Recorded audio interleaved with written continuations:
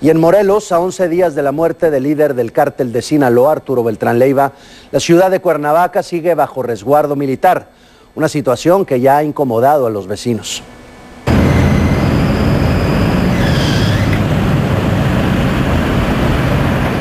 A 10 días del operativo donde murió el capo del narcotráfico Arturo Beltrán Leiva, la ciudad de Cuernavaca vive un clima de zozobra.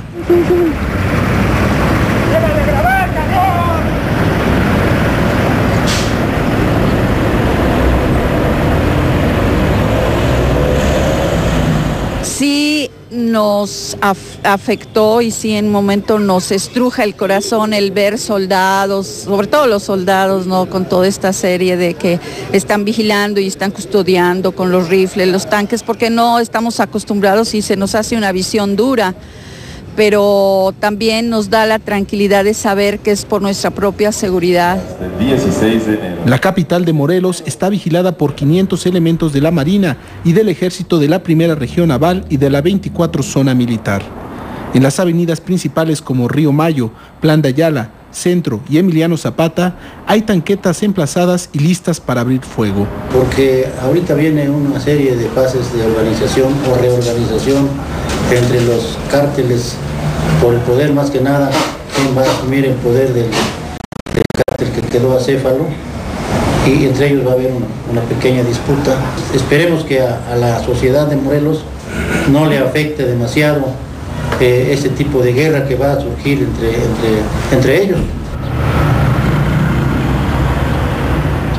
En el complejo habitacional Altitud, donde murió el Barbas, pocos son los vecinos que han regresado a ocupar su departamento, a pesar de que la Marina se retiró ya del lugar y solo hay presencia de policías estatales. Nunca nos, imaginamos tener así que un personaje aquí enfrente de, de nuestro negocio y este, pues, es lo que le comento, sorprendido.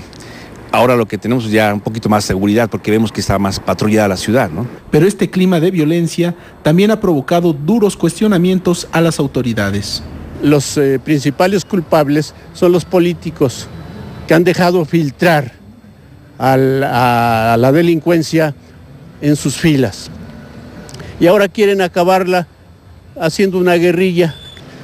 Hay una máxima maravillosa que dice, educa a los niños y no tendrás que castigar a los hombres.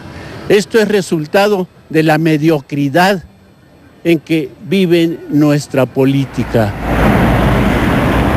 Con imágenes de